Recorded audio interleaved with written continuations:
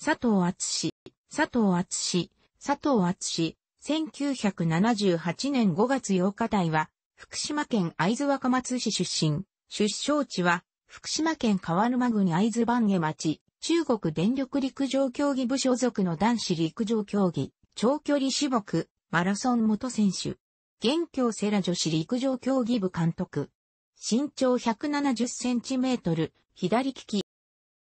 ハーフマラソン前日本男子記録保持者、1時間0分25秒。他主な実績に、各男子マラソン種目で、2008年北京オリンピック、日本代表、76位、2009年世界、陸上ベルリン大会6位、入賞、2003年世界陸上パリ大会10位など。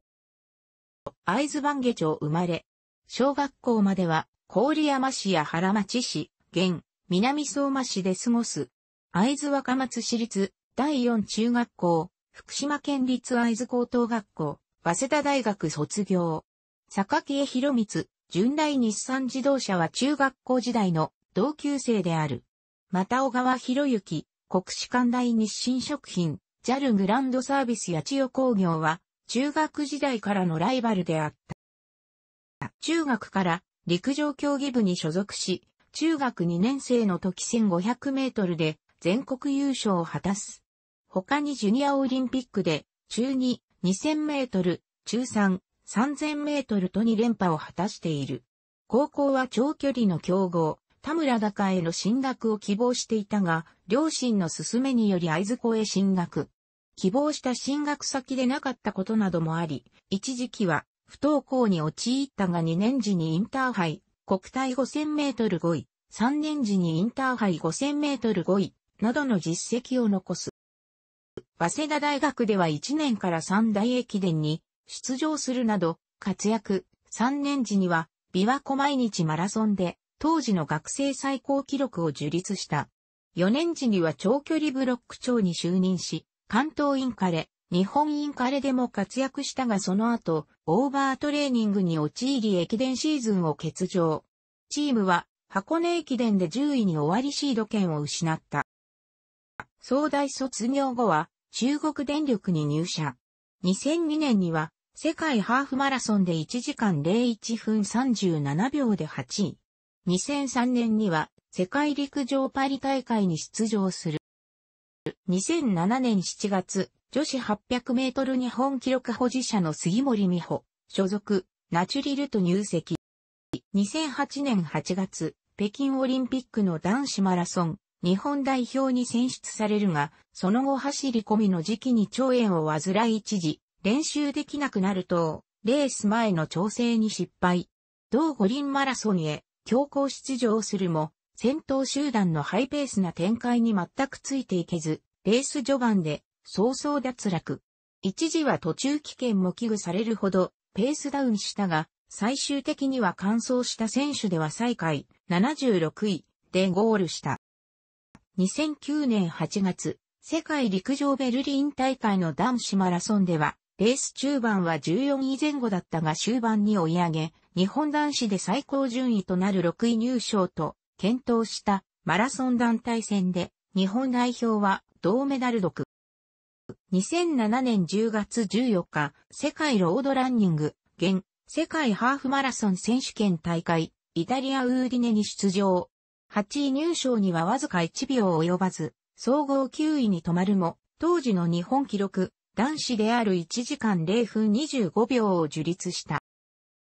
2010年元旦、第54回全日本実業団、対抗駅伝競争大会では4区、22.3キロメートルを1時間03分11秒で走り、今井正人、坂井光一以下を抑え区間賞を獲得した。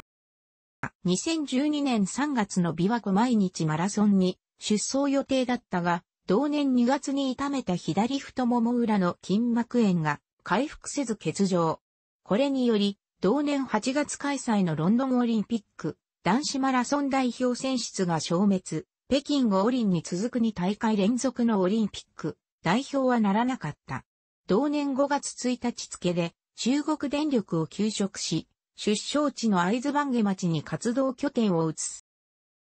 2013年12月1日、福岡国際マラソンが現役最後のレースとなる。怪我が重なり練習が詰めず佐藤曰く、目標は完走で出場。6年前の同マラソンから25分以上遅れ、2時間33分台ながらも無事ゴールを果たした。現役引退後の2014年2月2日、京セラ女子陸上競技部就任が報道された。2014年4月1日で正式に監督に就任。なお、妻の美穂も同時にコーチに就任した。走りのためになると思ったことはすべて実行し、エレベーターやエスカレーターはもとより、自転車にも乗らないなど徹底している。かつて、走る修行像と呼ばれていた、瀬古俊彦は、本当の修行像は、佐藤厚だ。と評した。そんな自他ともに認めるストイックさが逆に災いし、自ら追い込みすぎる、あまり、過緊張によって、力みが生じ失速するレースが一時続いた。